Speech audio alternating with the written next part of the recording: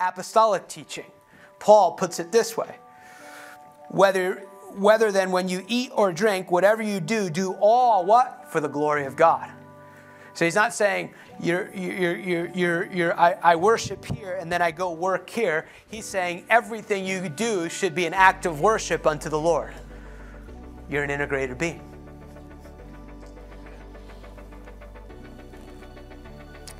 He also says it in Colossians 3:17.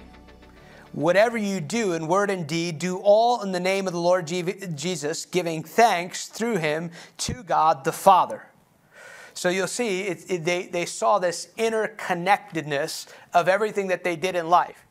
Uh, one, one, uh, one Hebrew tradition, and obviously it's not applicable today, but this is how this is the view of reality that they had.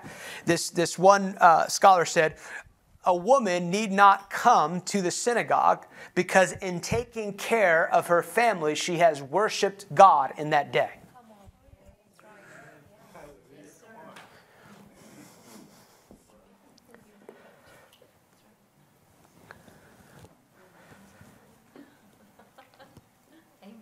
All the women said amen to that one. That's right, I'm worshiping the Lord. That's why I'm not here. You know? So you'll see something here. You'll see this played out here. Uh, if you're following along, look at uh, Genesis 2, verse 15 and 17. The Lord God placed the man in the garden to tend and watch over it, but the Lord warned him, You may freely eat the fruit of every tree in the garden, except the tree of the knowledge of good and evil.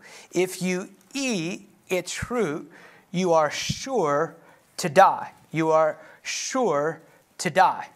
Now, notice he tells them, in believing, in acting in something that I've called you not to do, it is death. So keep that in mind in your life. Any beliefs that you embrace, anything contrary to the Word of God that you embrace, is death.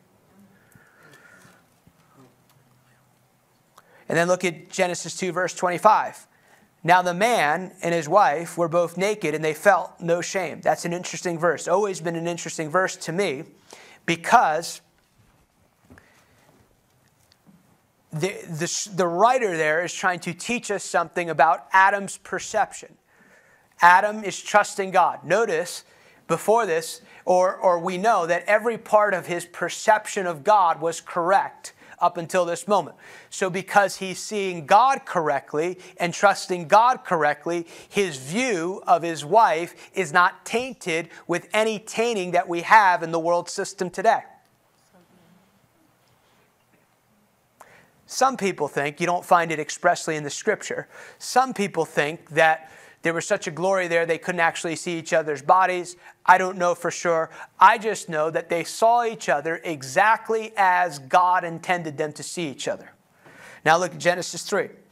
So keep also in mind that you, you, are, you are a being that is created to learn.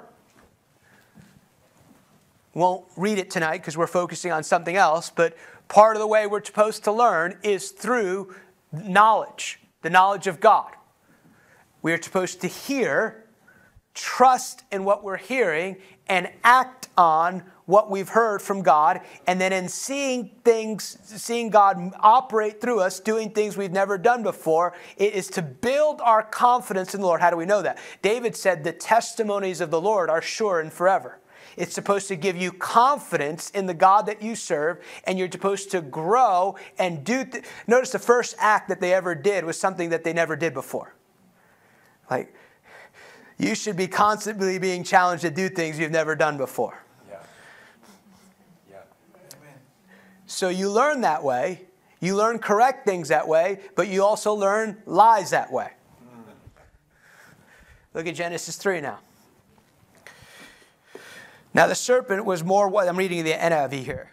I don't know why I just read out of it this week. Now the serpent was more crafty than any of the other uh, any of the wild animals and the Lord God the Lord God had made. He said to the woman, "Did you really say you must not eat from any tree in the garden?" Now, this is really important. The road to death begins by questioning what God has clearly stated. The road to death begins by questioning what God has clearly said. God has already made this clear, and also realize they have full authority over the one who's speaking to them and challenging God.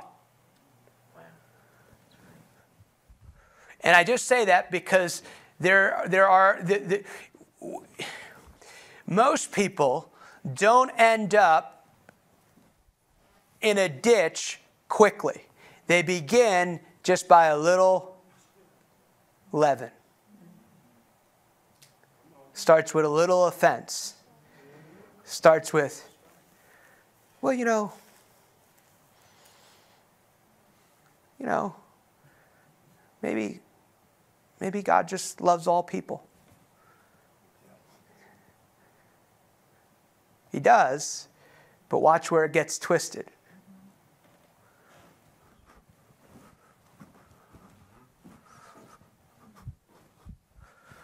And the woman said to the serpent, We may eat fruit from the trees in the garden, but, God, but did God say, You must not eat from the tree that is in the middle of the garden, you must not touch it, or you will die? You will certainly not die, the serpent said to the woman. So, so notice the inability to directly address the lie opens a whole dialogue that is all lies. That's why you got to shut that thing down immediately. Yep. You'll not certainly die, the serpent said to woman, for God knows that when you eat from it, your eyes will be open and you'll be like God, knowing good and evil. They're already godlike. He's offering them something that God has already given them. Yeah. We know better than God. Oh, come on. You know, God told you to wait on that thing, but go ahead and do it, you know. When the woman saw that, notice she heard, she allowed it to meditate, and that dialogue continued. Most of the dialogue that you will have in these areas will be internal. When the woman saw that the fruit was good for food, and she looked now. She looked. Instead of being governed by revelation knowledge, the enemy tempts her to be governed by the senses. And we'll notice here something here. So, and also desirable for gaining wisdom. She took some of it and ate it. She also gave some for her husband who was with her, and he ate it. Then the eyes of both of them were open. Now, he's not talking about their physical eyes, he's talking about the eyes of their heart. One chapter before that, we don't know how much time has gone by, the eyes of their heart are seeing each other perfectly pure. The eyes have now switched. Now you'll notice it's one lie that they believe. One lie. The eyes of both were open and they realized they were naked. So now they have an awareness of something they were never supposed to have an awareness of. So they sewed fig trees together and they made coverings for themselves. Now, notice one of the first characteristics of believing a lie is immediately you seek to take care of yourself when God is always meant to be your source of all things. What do I do? I need to do something quick. You know? That's why I don't kill people so much when they make one mistake because usually there's another mistake coming after it to fix the mistake that you know you shouldn't have made because you're embarrassed you made it. I'm not saying either mistake is right, I'm just saying I understand it. Most people who commit adultery don't stand up and confess it, they get caught. Uh-huh. Anyway, that's.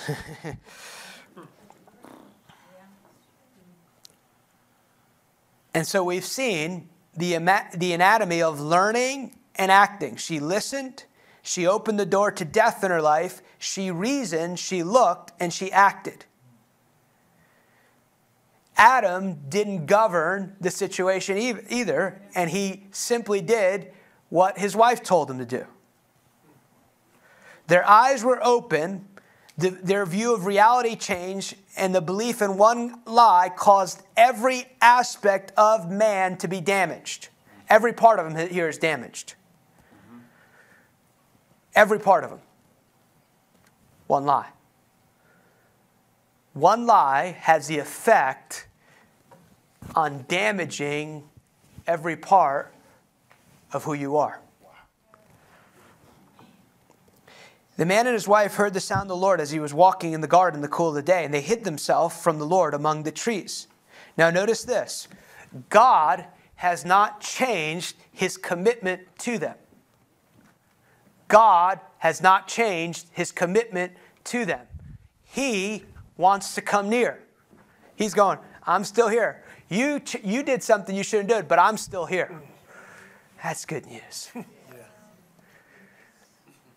But notice their perception of him, even though he is coming close to them, their perception of themselves and of him is now shifted. So their ability to trust him, notice their perception has changed.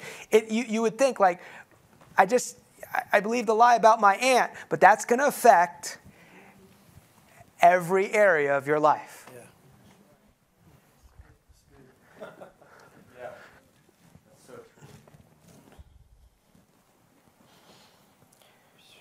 But the Lord called them, Where are you? I love this. They can still hear his voice, and they've made the worst mistake of their life. Listen to that voice when you've made a mistake. And he answered, I heard you in the garden, I was afraid. Notice, he's having emotions God never meant to have for him. He was never meant to be afraid of God. His emotions are damaged. Because I was naked, so I hid.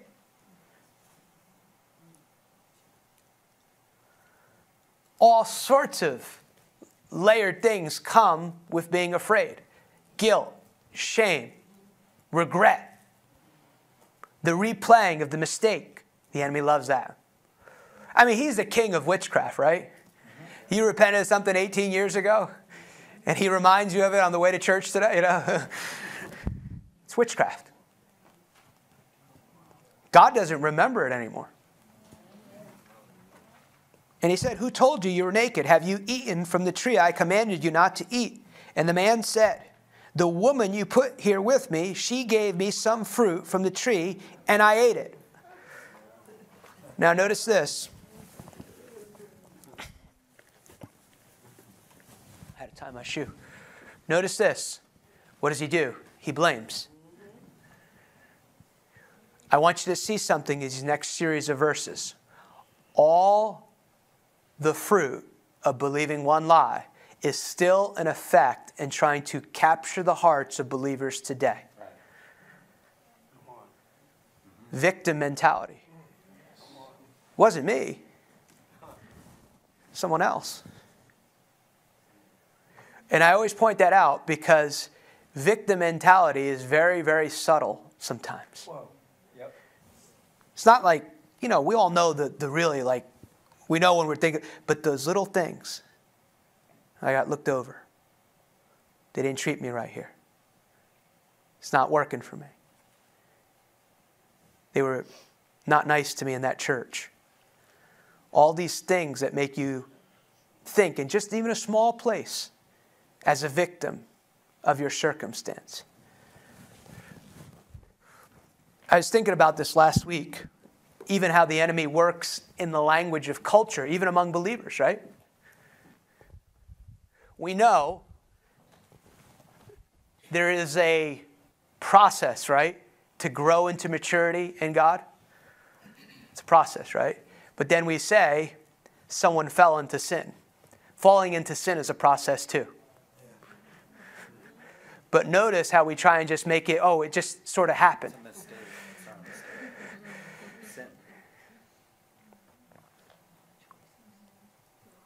So we even label mistakes in victimization. Right. Come on.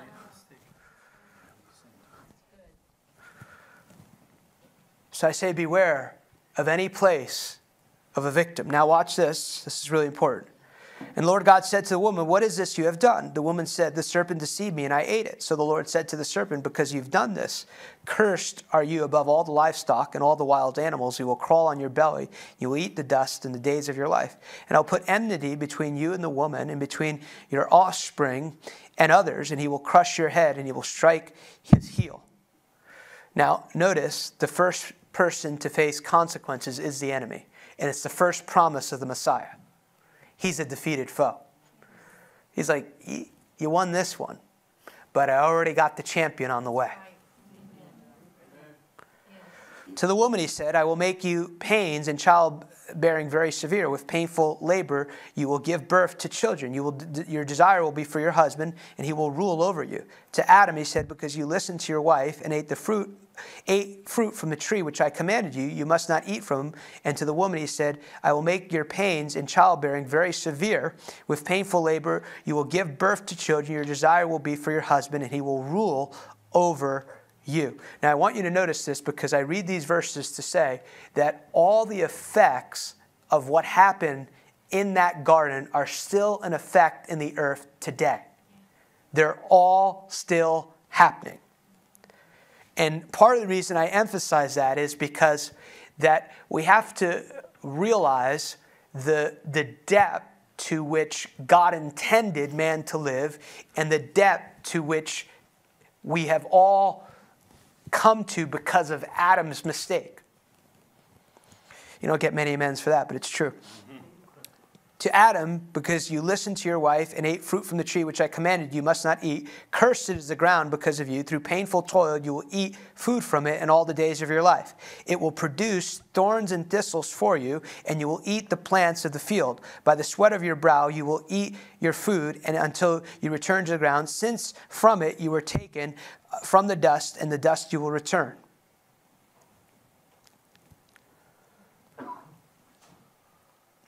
Verse 22 And the Lord said, The man has now become like one of us, knowing good and evil. He must not be allowed to reach out his hand and take also from the tree of life and eat and live forever.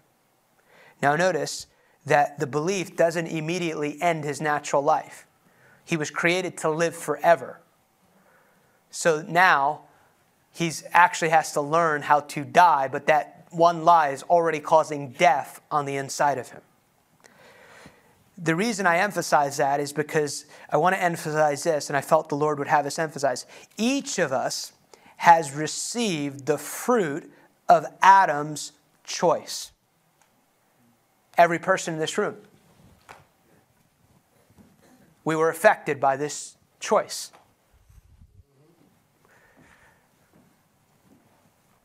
We were born in a state God never intended for humanity, separated from God.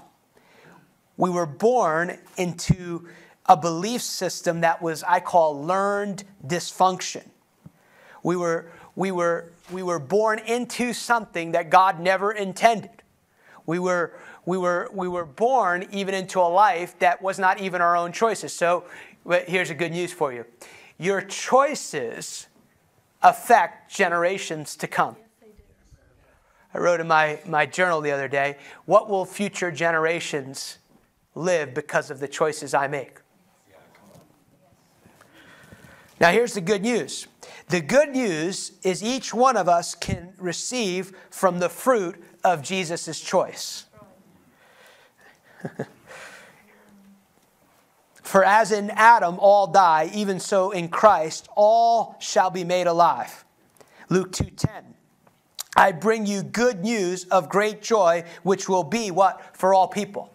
The good news is you were born into a really dysfunctional state. You were born where uh, every part of you was damaged. You were born, even, even you're really beautiful, you were still born damaged. And the good news is, God did not leave you damaged.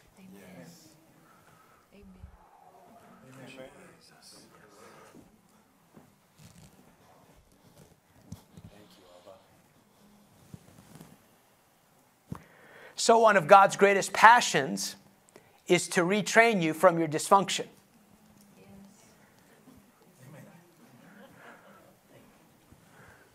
The challenge is Many people do not recognize how much dysfunction they were born into before they came into the kingdom of God. Not you, the person behind you. Our born again experience gives us the privilege of divine placement. Therefore, if anyone is in Christ, he is what? A new creation. Old things have passed away. Behold, all things have become new. But whoever, I, I mentioned this the other, a, a few moments ago, but whoever is united with the Lord is one, is one with him in spirit. Romans 8, Christ has raised from the dead, and we know he cannot die again. Death has no power over him. Yes, when Christ died, he died to defeat the power of sin one time, enough for all. He now has a new life, and his new life is with God. In the same way, you should see yourselves as dead to the power of sin and alive with God through Christ Jesus.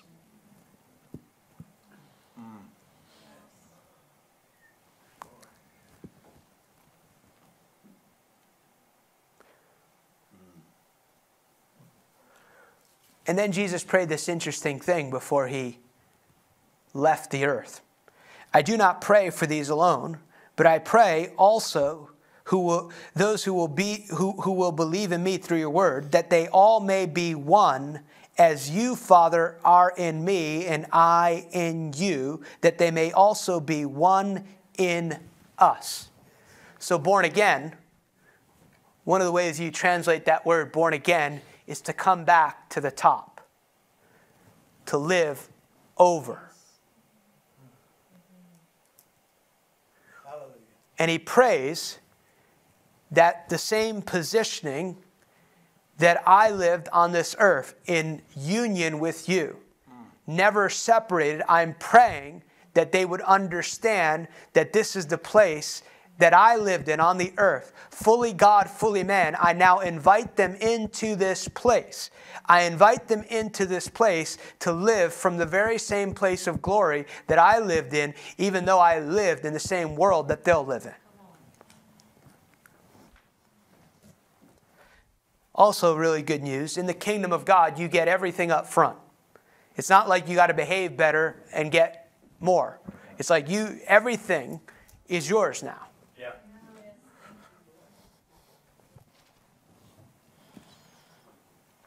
Come on. By which we've been given to us exceedingly great and precious promises, that through these you may be partakers of the divine nature, having escaped corruption that is in the world through lust. He has delivered us from the power of darkness and conveyed us into the kingdom of his Son, of his love. So, what does he do? According to apostolic language, again, he says, We're seated with him in heavenly places. So, this is what he does that old life that you had, all of that dysfunction, it was so bad, he didn't want to like do like a remodel on it. It was really, really bad. He's like, it's. Uh, I could just see this because it said Jesus was the lamb slain before the very foundation of the world. Hey. So Adam's going to miss it. Jesus, what do you think? That it's going to be so bad, I'll have to die.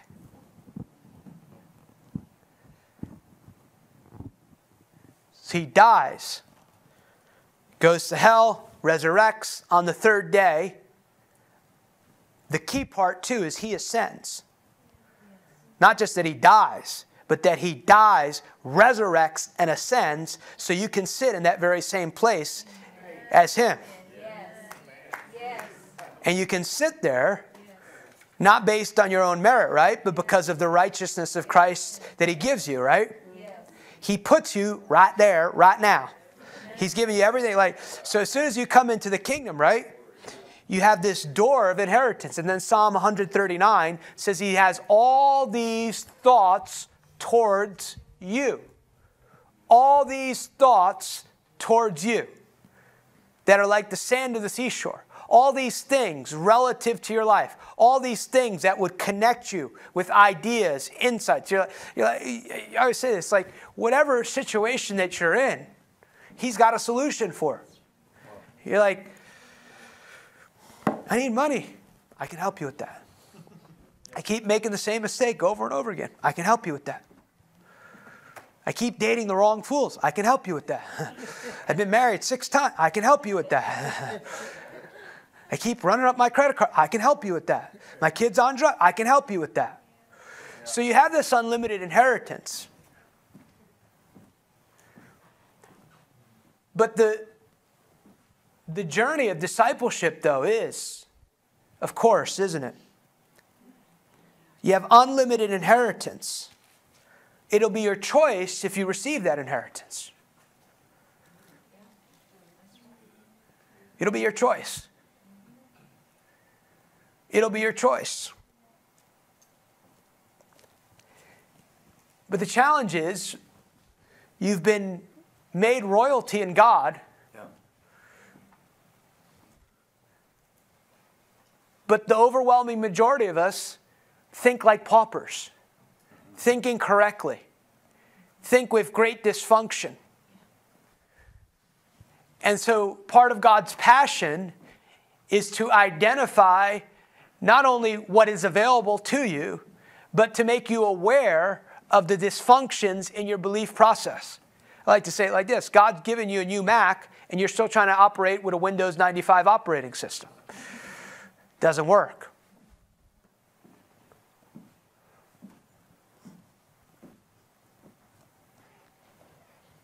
Thank you, Lord.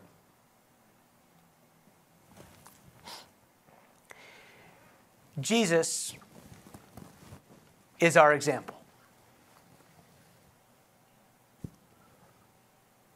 And there's something really interesting that Jesus says about himself. He's got this life. He, he, he, he was the greatest prophet that ever existed. There was no greater prophet than himself. But his goal was not to be the greatest prophet. His goal was to obey and fulfill purpose, and in doing so became the greatest prophet.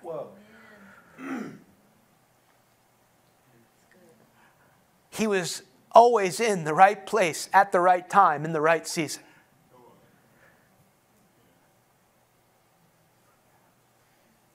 His life of intimacy with the Lord did not begin when he began his ministry. It's what birthed his ministry. He was the greatest example of the whole man that ever existed. The woman with the issue of blood receives healing because he had healing on the inside of him. He said, Don't look here, don't look there, for the kingdom of God is within you. It says, this is what he says about himself that's really fascinating and it'll give us some understanding, I believe, of his passion for us. He said, well, let's just read it John 14 30. I will not speak much more with you, for the ruler of the world is coming, and he has nothing in regard to me. Footnote from the NASB said he's got no ground of accusation in me.